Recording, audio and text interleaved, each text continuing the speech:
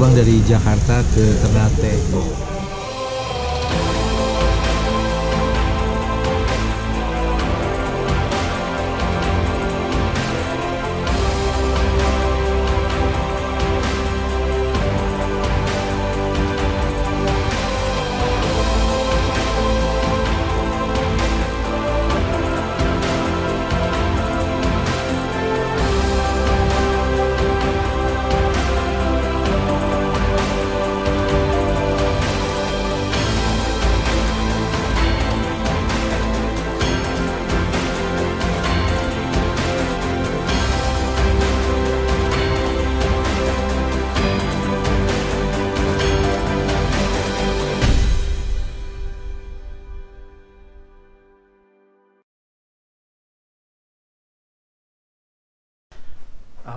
Alhamdulillah siang ini kami sudah tiba di Ternate dan menginap di Hotel Sahid Bella.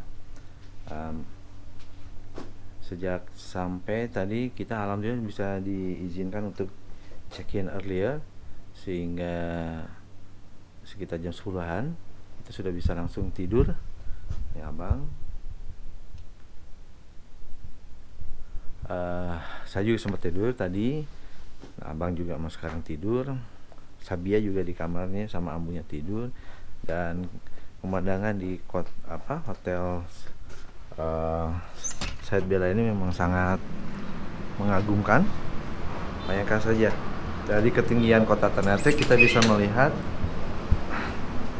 laut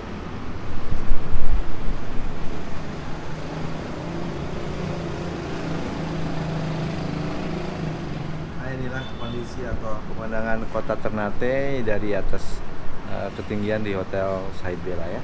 Indah sekali. Dan di sini uh, kita melihat bagaimana nuansa Islamnya sangat kental karena kita bisa lihat di mana-mana banyak sekali uh, menara masjid.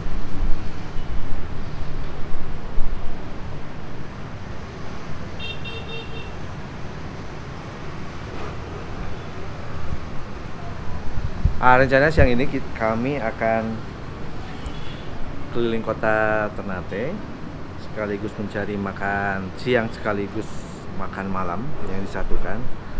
Uh, dan rencananya baru besok kita akan melakukan atau explore lebih jauh dari kota Ternate. Uh, ya sekarang udah jam 5 waktu Indonesia Timur. Uh, kita masih leleh di dalam hotel uh, karena ingin recovery dulu setelah perjalanan tadi malam di mana kita hampir semalaman terbang dari Jakarta sampai dengan ke Ternate pagi hari. Uh, saya sendiri tidak akan membangunkan Hakim, Ambu maupun Sabia karena mereka mungkin masih memerlukan recovery badannya sementara saya tadi coba mau tidur juga nggak bisa. Jadi ya sudahlah bangun sambil lihat-lihat uh, apa uh, berita di internet. Rencananya sih malam ini kita akan keluar untuk makan malam uh, dan ingin mencoba seafood yang kabarnya sangat terkenal di kawasan Ternate yaitu di restoran uh, terminal atau nanti di restoran yang lainnya. Yang pasti makanan utama di sini yang paling dicari adalah seafood. Mobil, where you park it? Ya jauh ya.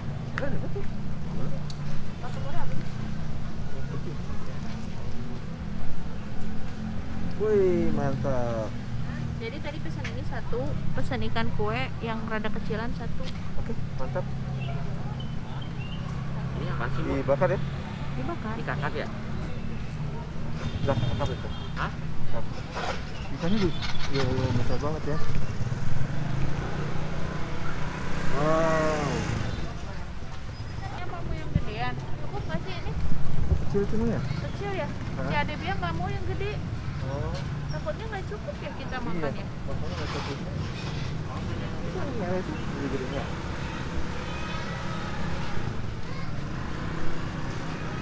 Ini. Kan udah itu. ini tadinya dia nggak mau tambahin aja Ya, gitu maksudnya ini yang ini tukar sama yang ini ini besar kan apa ya boleh tanya? Ini? Sumasi. Hah? Sumasi. Sumasi. Oh. kakap itu ya kakap ya sama yang ini kali sama nggak Sama bubaran lagi. lebih gede ya gede itu Ini- oh iya sama bubara juga ini mau itu aja ini kenapa Dek? Skuda.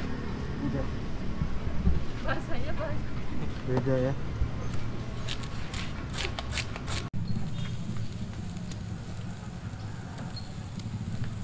Bang, kepalanya bang di botol itu ya itu ikan apa bang? Eh, kalkun.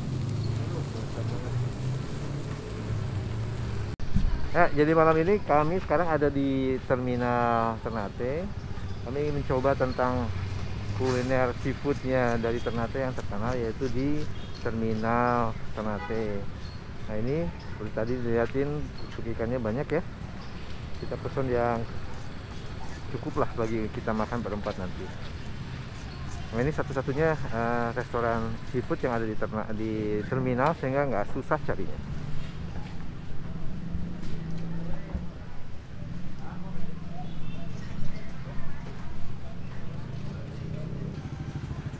Alhamdulillah. Tadi tadi nyari apa nih? Nyari apa? ini naruh bang Iya.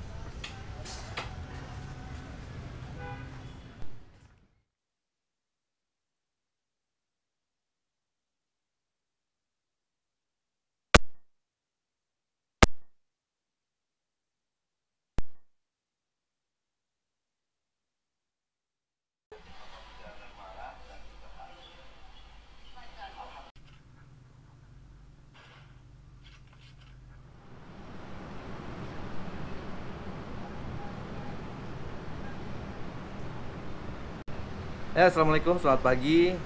Ah, kami hari ini sudah hari kedua tinggal di Ternate dan pagi ini kami berencana akan sarapan bubur Manado yang eh, dijual di kawasan Ternate. Dan acara atau rencana pagi ini eh, hari ini adalah kita akan keliling eh, city tour Ternate ke mengunjungi beberapa situs sejarah dan juga apa namanya eh, mengenal kembali atau menjejak kembali Ternate sebagai pulau rempah-rempah yang terkenal di seluruh dunia.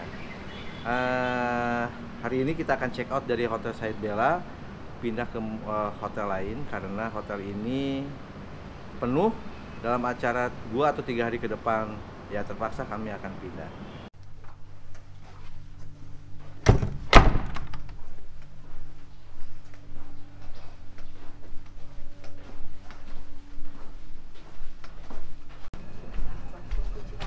Hmm. Lantai berapa? Dua ya? dua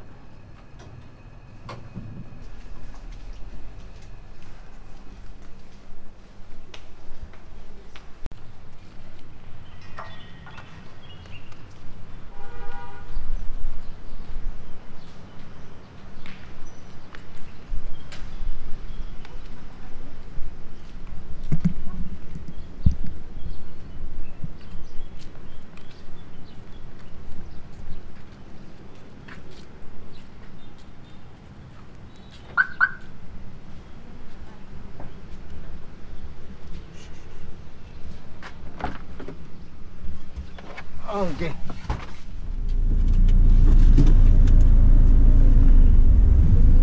mau di start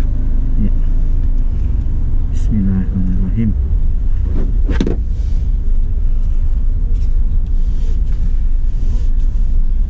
buat aku gendut sekali Bau.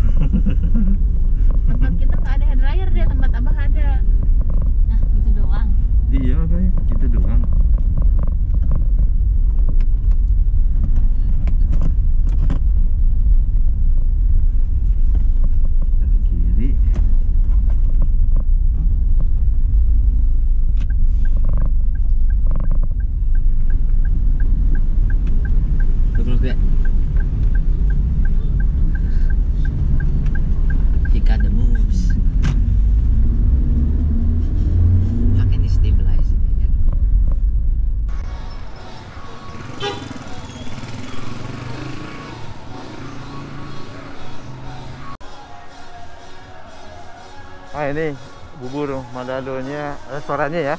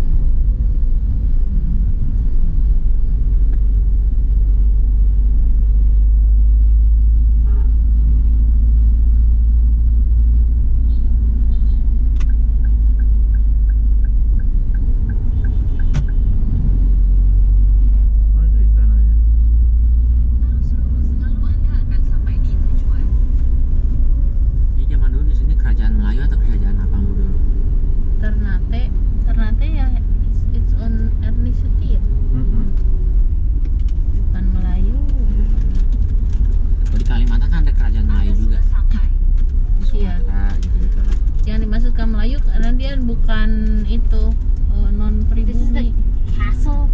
Iya dek. Muslim Sultan Iskandar Muhammad wih castle-nya dek Ya rumah aja kata abang. Is there anyone home?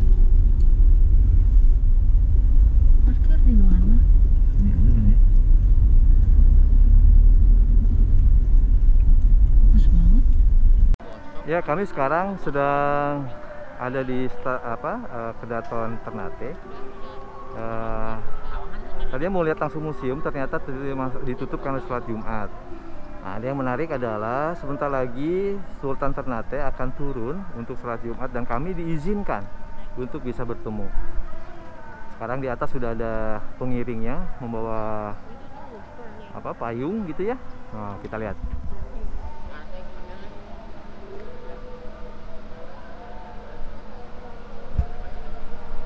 Ya ini kesempatan yang jarang sekali yang bisa kami dapatkan untuk bertemu langsung dengan Sultan. Dan ini kita kebetulan ada di Ternate, kita bisa bertemu. Ya mudah-mudahan bisa ngobrol ya setelah sholat Jumat nanti bersama kami keluarga Kusmayadi.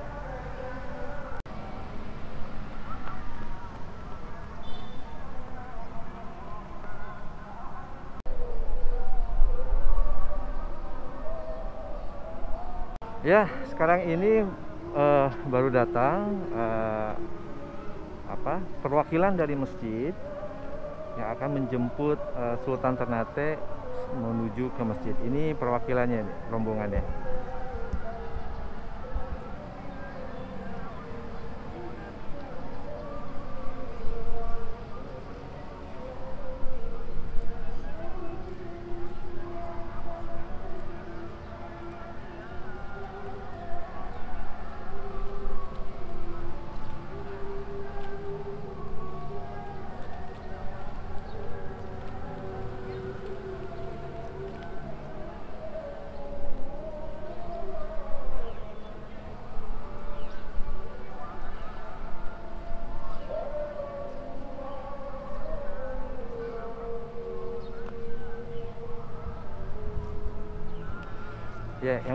Atau menarik adalah itu para rombongan tadi juga melepas eh, alas kaki sebelum naik ke kedaton. Eh, rupanya adat istiadat atau kultur dari eh, rakyat setempat untuk menghormati Sultan Ternate masih tetap terjaga sampai dengan sekarang dan tadi disebutkan bahwa eh, Kesultanan Ternate sendiri lahir atau sekitar se- abad ke 1200 Nah, sekarang perwakilan itu sudah masuk ke tangga untuk menjemput Sultan.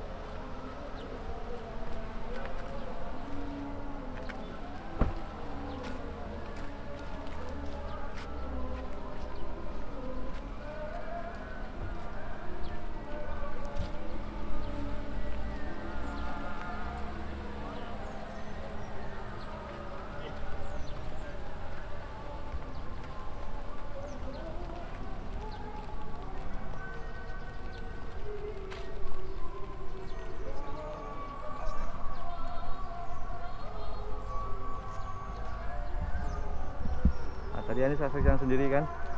Walaupun Sultan itu tadi Sultan Ternate menggunakan kendaraan atau mobil tapi sebagai perlambang hormat eh, mobilnya atau payungnya sendiri masih tetap digunakan atau dibawa untuk memayungi mobil eh, eh, Sultan. Ah ya Beliau akan sholat Jumat kabarnya tidak jauh dari sini, masjidnya mungkin di Masjid Agung Ternate dan setelah itu beliau akan kembali lagi, tidak ada agenda yang lain selain uh, pulang setelah dari masjid. Di era kemerdekaan bang, ternyata uh, pemimpin lokal seperti Sultan itu di- masih dihargai, dihormati. Nah kita sekarang akan sholat Jumat dulu di masjid tempat Sultan Ternate eh, sholat ini masjidnya.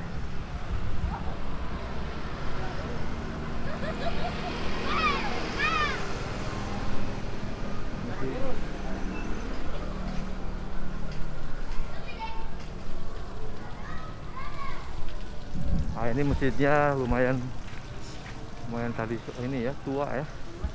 Tadi arsiteknya kemudian eh, apa namanya eh, kondisi bahan materialnya tapi sangat terawat. Kita sholat eh, wudhu dulu ya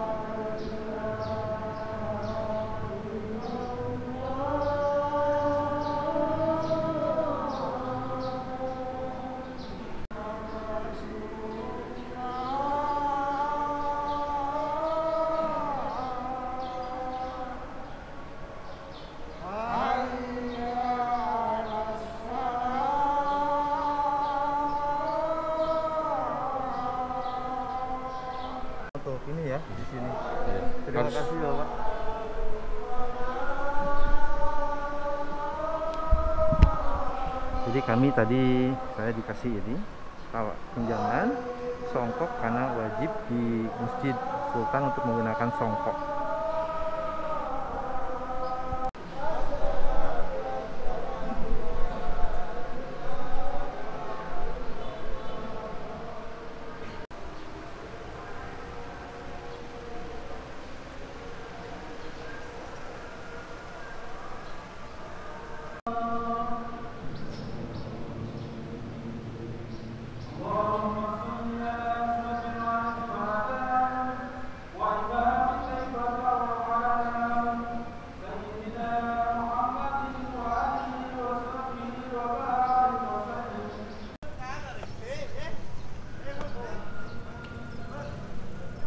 Assalamualaikum, jumpa lagi dengan keluarga Kusmayadi. Pagi ini kami akan mencoba kembali masuk ke Museum Kedaton.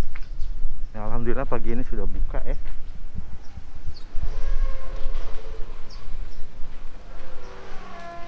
Nah, di dalamnya kita akan melihat tentang sejarah Keraton Ternate dan museum ini bergabung dengan rumah Sultan sendiri. Ini rumahnya.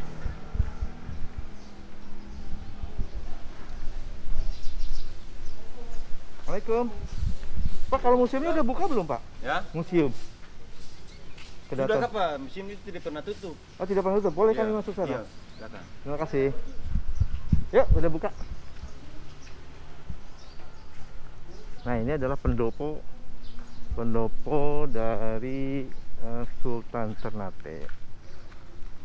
Kami datang pada bulan Januari ini tanggal 22. Eh, Sultannya baru saja eh, dilantik, belum sampai 40 hari katanya.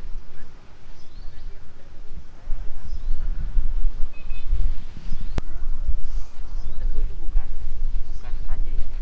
kamu nggak tahu ya kalau nggak salah tuh jadi kan ada kerajaan-kerajaan kecil.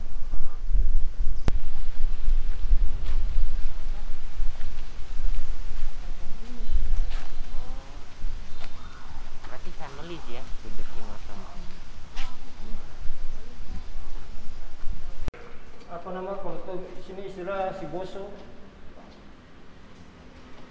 Masa meditasi. Masa meditasi. Iya, jadi belum bisa ini. Oh, di museum pun sebenarnya tidak ada barang ya Pak ya? Karena Iya, sementara ini museum ini belum ada barang.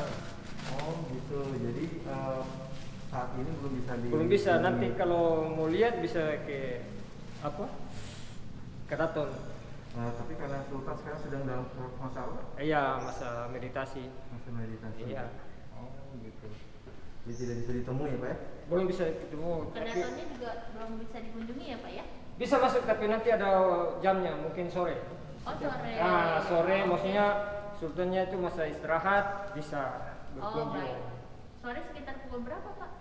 Pokoknya sekitar jam-jam 3 gitu. Jam 3 baik. Oh, 3 baik. sampai jam 5 masih bisa. Baik. Karena nanti ada petugas di dalam yang bisa Oh. temani kan. Bisa memandu ya? Iya. Baik baik.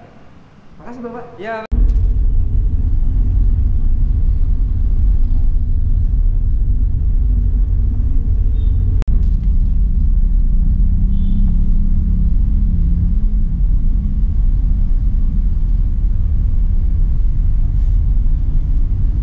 Ya, Kerajaan Gapi berpusat di kampung Ternate yang perlahan menjadi besar dan ramai. Dalam perkembangannya, orang-orang lebih suka menyebut kerajaan Ternate daripada kerajaan Gapi. Nah, keluarga kerajaan Ternate baru secara resmi memeluk Islam pada pertengahan abad ke-15 atau tepatnya pada pemerintahan marhum. Marhum adalah raja Ternate pertama yang memeluk Islam. Dan putranya yang memegang tahta selanjutnya yaitu Zainal Abidin mulai memberlakukan hukum-hukum Islam. Ini museum juga, Bu. Yes, ini museum rempah. Ada Setelah- gitu nggak?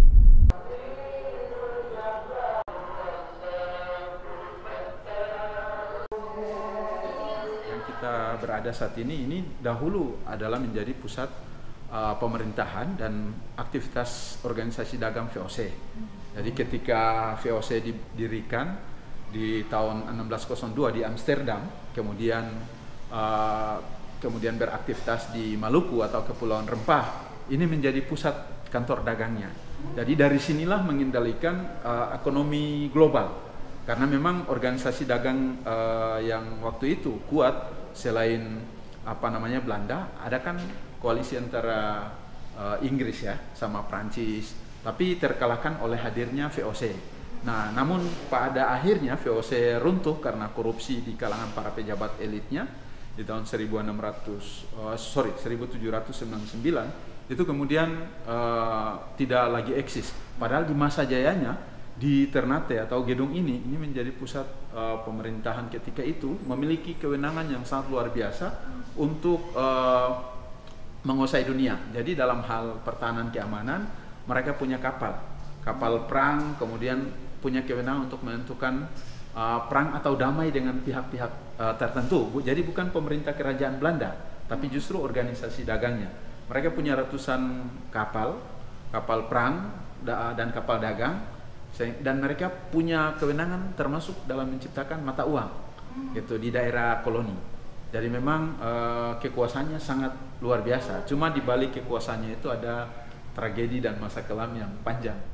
Kalau untuk eh, kedatangan masuk ke Nusantara itu kan 1500. Itu era awal awal dari cerita panjang tentang perjalanan gedung sini.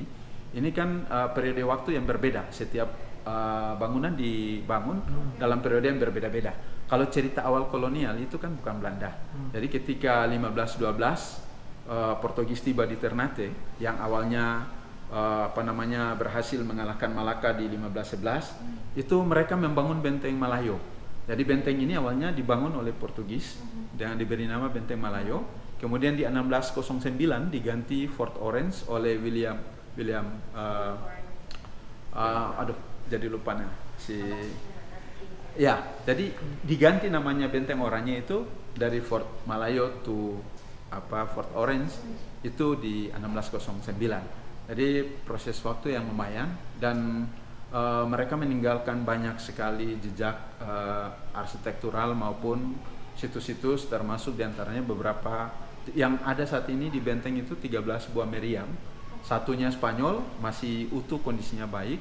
Dan eh, dua itu Portugis dan 10 itu VOC. Jadi semua in situ pada tiap-tiap bastion atau sudut bagian depan eh, maupun di bagian tengah pintu masuk eh, gerbang benteng. Jadi jauh sebelum Batavia didirikan sini dulu ya. Uh, kalau cerita awal Batavia ini kan masuknya Belanda 15 uh, 1500-an itu Belanda ke- uh, waktu itu Banten ya.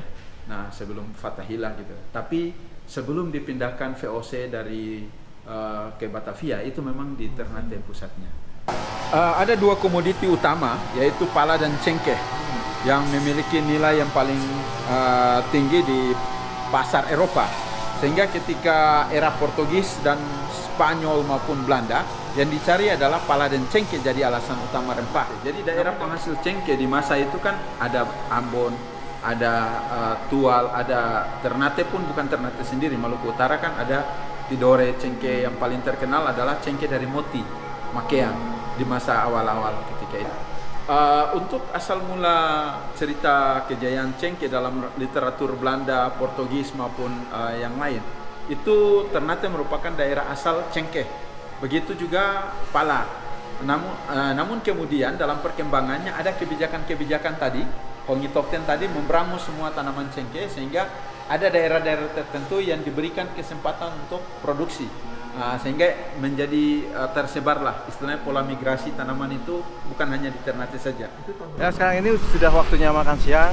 Kami akan mencoba masakan atau makanan khas Ternate atau pada umumnya Maluku, Indonesia Timur, yaitu makanan eh, pepeda dengan makanan tradisional lainnya. Tadi kita sempat masuk ke beberapa tempat ternyata habis. Jadi sebenarnya makanan khas tradisional orang Ternate ini pun disukai atau di, menjadi makanan yang uh, apa laku di kalangan orang lokal.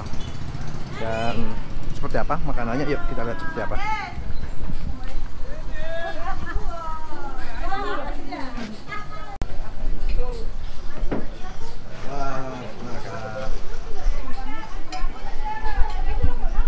Nah ini makanannya seperti ini. Ini kalau saya ke sini sendirian positif tersesat tidak tahu apa yang harus dilakukan. Cara makannya?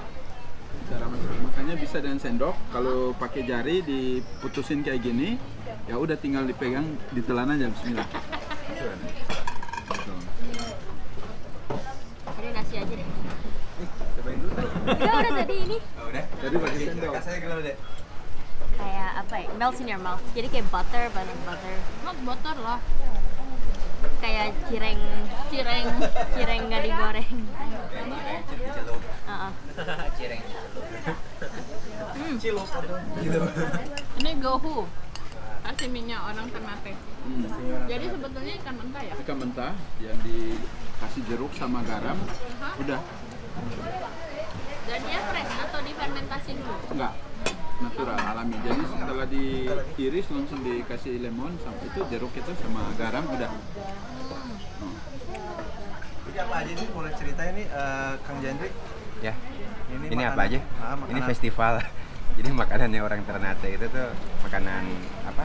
Tradisinya tuh memang seperti begini. Festival berbagai macam makanan disajiin. Kalau di rumah biasanya tuh setiap hari Jumat kita makan eh, rupa-rupa kayak begini. Mhm. Ini papeda. Ini kuahnya ada tiga macam harusnya. Ini sekarang cuma ada dua. Kuah kuning sama kuah soru kalau di sini istilahnya ya. Terus kemudian eh, apa? Ubi. Ini ikan ikannya dan bakarnya. Terus eh, ini macam-macam sambalnya. Ada sambal biasa, ada sambal mata sama sambal apa? Eh, kelapa. Sambal kelapa. Oke. Terus yang ini? Ini nasinya. Ini kita makan biasanya buat pembuka makan pepeda dulu. Oh, Pepeda dulu. Terus eh, ini ikan goreng tadi ikan bakar, ikan goreng. Terus eh, sayur jantung pisang. hmm. Ini gohu yang ikan eh, mentah. Ikan mentah sama ini eh, pisang santan itu eh, singkong. Ini makan eh, setiap hari Jumat gitu ya di sini. dulu setiap hari Jumat dulu waktu zaman saya kecil sekarang sih justru malah karena orang-orang tua-tua kita yang ngelestariin tradisi beginian udah pada tua jadi akhirnya tempat-tempat makan popeda kayak begini jadi rame karena orang-orang di rumah udah jarang masuk seperti begini Oh gitu, makanya banyak habis ya kayak tadi kita Iya. coba di dua titik aja udah habis gitu ya. Ya, ternyata yang makan ini kan semuanya orang-orang lokal gitu bukan turis-turis kan yang mereka rindu mungkin masakan-masakan kayak begini di rumah kalau Iya, dulu iya. kan sering kita makan beginian di rumah sekarang malah udah nggak pernah lagi di rumah. Oh gitu gitu gitu, mantap. rasanya gimana bu? Hmm? berbagai macam tekstur dan rasa. Yang jelas sih hmm, ikan ya. Ikannya dominan banget. Ini kuahnya juga kayaknya rempah ya? Hmm, hmm, rempah iya kan kalau yang di Sulawesi versinya beda lagi ya udah dicampurin kan. Kalau ini kita nyampurin sendiri. Jadi orang Ternate mah bebas. Memberikan pilihan. Nggak diatur. Nah sekarang kami sudah ada di Benteng Castella di kawasan Castella. Itu 13 km dari kota Ternate dan inilah bentuknya.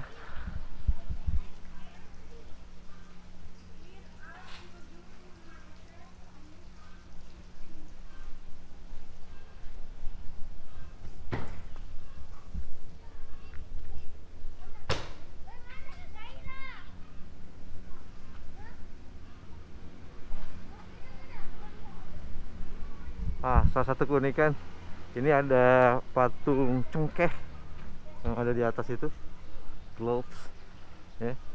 Ah, ini 28 ada tulisan 28 Februari 1570. Bu, boleh cerita Bu, apa ini benteng Castella ini? Sultan Kas Bonteng Castella. Gimana? Ceritain. Yeah, but Anga is actually built by the Portuguese and the Spanish took over. Oh. Gimana deh? Sahoa, blah blah blah. Angama. This is the oldest settlement or fort or colonial fort Hmm. dibuat di Maluku yang pertama. Yang pertama ya? Ya. Ini yang ngebangun siapa? Spanyol atau Portugis? Portuguese built us and then the, the Spanish took over. Take over. It, Oh, ini it was ada- built by the Portuguese in 1522. Dan ini ada monumen yang dibuat oleh kedutaan besar Spanyol di Indonesia yang dibuat tahun 29 29 Maret 2021 baru ya belum setahun lah ya. Ini dibangun di atas kota Gama Lama 1575 sampai 1606 ini daerah kediaman Kesultanan Ternate dan di atas benteng Portugis San Juan Bautista. Ya. nah eh, dalam per- ben- apa namanya monumen ini sendiri atau prasasti ini sendiri disebutkan bahwa ibu kota Spanyol di Maluku ada di Castella atau di Ternate ini. Nah, di sini kata disebutkan memiliki 10 benteng pertahanan dan tiga gereja dan sebuah rumah sakit. Jadi memang sangat penting eh, apa namanya eh, bagi sejarah Spanyol ternyata Ternate. Ya salah satunya ada benteng Castella ini.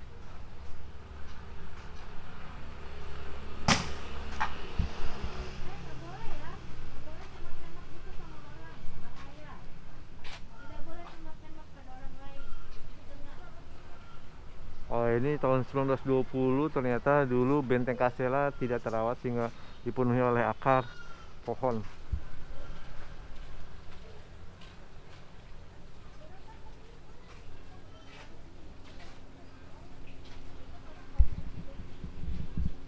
Tidak keluar itu. Belum isi dia peluru. Oh, tuh tuh dia pakai peluru tuh. Apa Tuh jatuh tuh. Oh iya itu pelurunya. Ambil ambil. Mana? Kita mau Tidak boleh tembak ke orang ya. Saya. Oke. Oke oke. Apa itu? Is- apa itu? Mainan apa? Merak Meriam Black. Meriam? Meriam Black. Ya. Coba coba di sekali lagi coba kayak gimana? Kayak seperti. Kasihan besar, bunyi kuat. Bunyi kuat. Ya. Itu pakai apa? Kenapa itu? Oke kaleng Nah, itu apa? minuman. Cairan apa? Ini Spiritus. Bensin. Oh bensin. Campur. Campur. Campur campuran dari warna Spiritus. Oh Spiritus. Coba coba coba lagi coba. Coba coba lagi. Tembak lagi Pak. Tembak tembak tembak tembak. William Black. Woi. Woi, sadis kan? Itu buat sendiri atau beli? Buat sendiri. Buat sendiri bukan beli. Oh, Beli kalian lebih suka main kayak gini atau main handphone? Main kayak gini. Suka. Oh, kenapa Handphone kok? ala handphone itu. Kenapa main ini lebih suka? Karena ini tidak pernah hancur-hancur. Kalau handphone emang hancur-hancur? Tidak pernah hancur-hancur. Membuat mata kita sakit. Kalau Oh, keras banget. mata kita pakai dulu. Itu bagi di atas mari. Nah ini kompleks dari Benteng Castella sendiri. Ini sekarang ini tinggal runtuhan saja. Ini dibangun oleh Portugis selama hampir 20 tahun ya. Kemudian diambil alih oleh Spanyol. Ah, ini dia.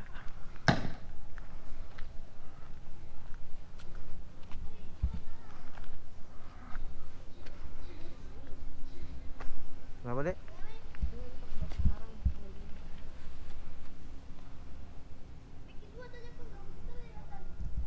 Ini kalau dilihat memang usianya sudah ratusan tahun ya.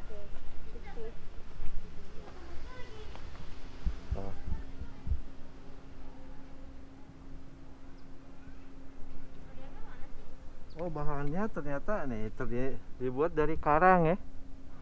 Karang-karang batu-batu karang ditumpuk menjadi sebuah uh, dinding ini.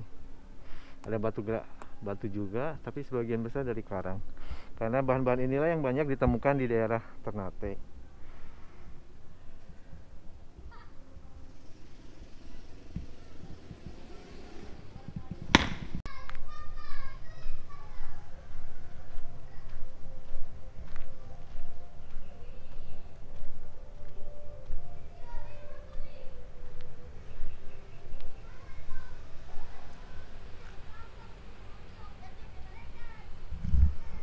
Kalau dilihat ini bentuk bentengnya persegi empat ya.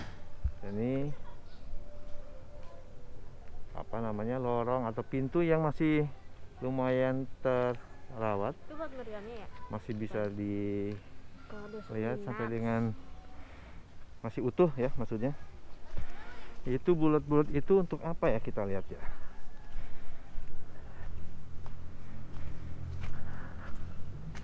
Oh, lubang biasa saja saya pikir untuk meriam ini nih.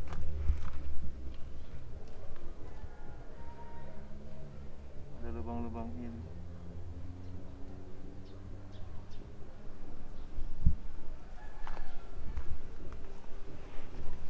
Di Ternate sendiri sebenarnya ada lebih dari empat benteng ya seperti kemarin kita sudah ke Fort Orange yang eh, apa eh, punya Belanda. Ini benteng Castella terus ada benteng Kalamata benteng Toluco. Tadi juga kita lihat di jalan ada juga benteng-benteng kecil yang tidak tercatat atau tidak banyak diungkap di internet yaitu benteng kota Janji. Bentengnya kecil ada di, di atas bukit. Di pulau kecil seperti ini memang eh, di Maluku gitu ya sebagian besar dan khususnya di Ternate ini benteng-benteng kolonial dari Eropa itu sangat banyak. Makanya tidak heran kalau kita bisa sebut sebagai Maluku adalah uh, pulau atau kota seribu benteng. Mengapa itu bisa terjadi? Karena rempah-rempah yang diproduksi dari kota Ternate dan pada Maluku pada umumnya menjadi barang yang sangat berharga di pasar Eropa dan maupun pasar dunia pada zamannya.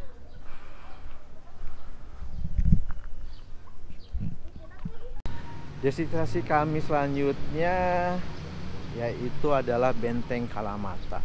Benteng ini berada di pinggir pantai ya, seperti benteng-benteng lainnya yang kami kunjungi. Ah, kondisinya masih relatif terlawat dengan baik, tidak ada pengunjung. Seperti ini bentengnya.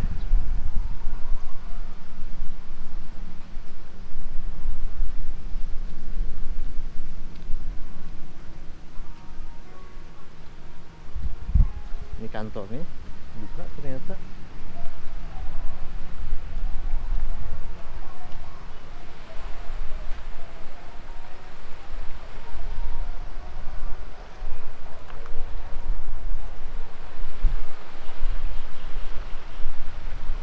Ini mah, pintu masuknya sebelah sini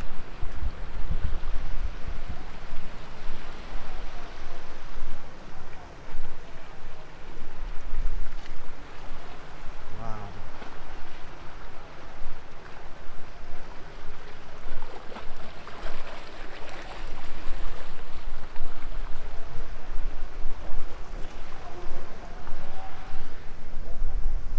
Wow. Sebesar ini ternyata bentengnya ya. Mungkin di sini dulu selain ada lapangan juga rumah-rumah ya. Cuman mungkin sudah eh, terbuat dari kayu sehingga bekas-bekasnya sudah tidak ada. Ah, dari sini dari benteng ini kita bisa ngelihat secara clear atau jelas pemandangan menuju ke Tidore. Oh, kan?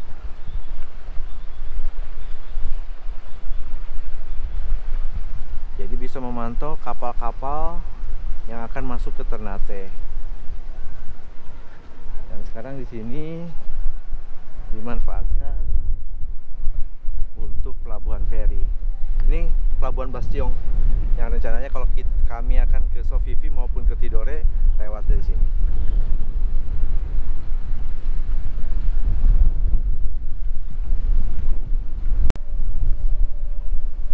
Ini bentuk apa namanya si benteng ini seperti bentuk bintang yang uniknya dari benteng Karamata. Dan di sini ada fasilitas air sumur.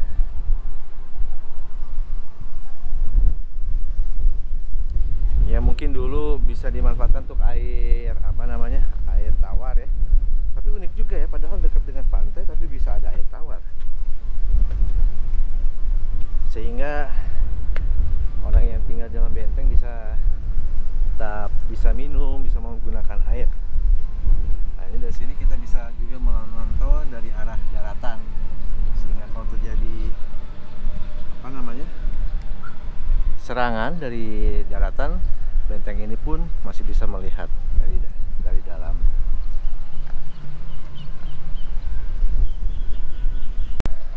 Eh, ini adalah benteng Kalamata yang dibangun oleh Portugis Eh, di ini sambil nyam- nyampe sini di tahun berapa nih?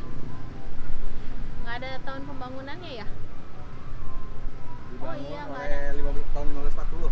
1540 ya berarti setelah eh, benteng Castella terus dibangun Kalamata. Benteng ini unik karena eh, bentuknya bentuk poligon. Kalau dilihat dari atas bentuknya cantik seperti apa memiliki empat sudut ya. Empat bastion yang runcing ujungnya. Setiap bastion dilengkapi sejumlah lubang bidik. Eh, ketebalan benteng Kalamata ini hanya 60 cm tidak tebal tidak setebal benteng Orange misalnya ya. Terus di sini juga terdapat eh, sumur di dalamnya. Eh, benteng ini juga sering kali berpindah tangan. Ketika Portugis meninggalkan Ternate setelah diusir oleh Sultan Babula benteng ini jatuh ke tangan eh, Spanyol ya tahun 1575 ke tangan Spanyol kemudian eh, jatuh lagi ke tangan Belanda. Pernah juga diduduki oleh Inggris kemudian jatuh lagi ke Belanda.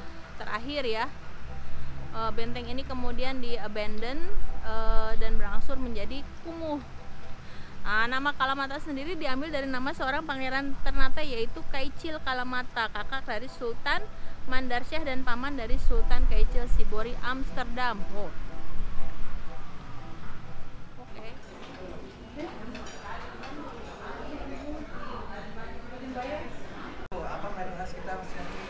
Ini adalah kepiting kenari, kepiting khas dari Maluku. Maluku Utara. Masih banyak ditemukan. Tapi katanya sih dia dari hijau menuju kuning, tapi sebetulnya tidak banyak data. Jadi untuk em, masyarakat Maluku yang mau menangkap kepiting ini harus ada izinnya mereka punya jatah misalnya setahun itu berapa ratus ekor yang bisa ditangkap. Nah ini tuh kepiting ini adalah salah satu bukan salah satu deng dekapoda terbesar di dunia. Jadi rentangannya rentangan capitnya dari ujung capit satu sampai ke ujung capit yang lain itu bisa mencapai 1 meter. Beratnya bisa sampai 4 kg pokoknya gede itu deh makanya Coba ya. We were waiting for you, by the way. Hah?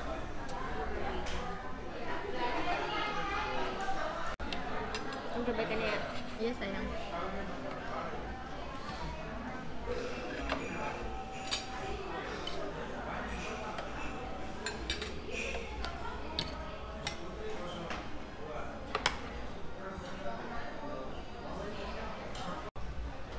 Jangan ambil.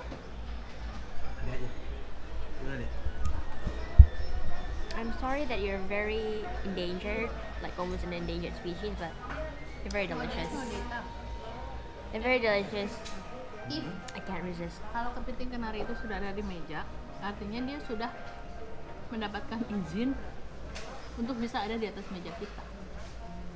Rasanya gimana sih? Actually, if you just boil it on its own, a bit of salt and pepper maybe, or maybe chili flakes, they're okay. Karena udah savory banget. Tapi restoran ini emang enak banget. Dagingnya gimana? Dagingnya rasanya? Um, it's flaky and it's soft. Dan ke firm juga. It's different from a crab. Kayak ud- antara ud- lobster Dan dia gurih ya? sama iya crab.